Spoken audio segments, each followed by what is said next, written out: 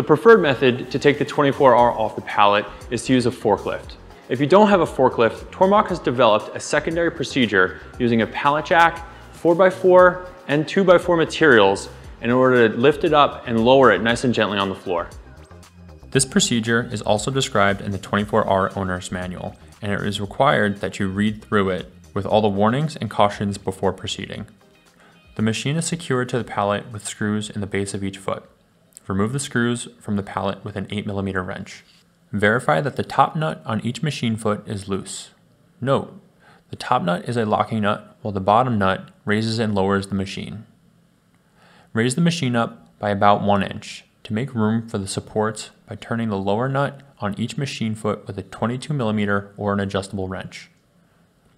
Put two supports on the pallet so they're approximately 6 inches from each end of the machine stand. Verify that there is enough room between the supports for the pallet jack. Stack blocks under each end of the supports. Lower the machine with a 22mm or an adjustable wrench until the weight of the machine is completely held by the supports. Verify that the feet aren't touching the pallet. Slowly remove the pallet from under the machine. Use blocks as needed under the machine frame. Lift the machine off the supports with a pallet jack. If you see the machine tipping, lower it and reposition the blocks to evenly distribute the machine's weight on the pallet jack.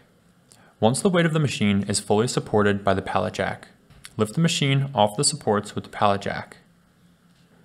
Repeat until the weight of the machine is entirely on the floor.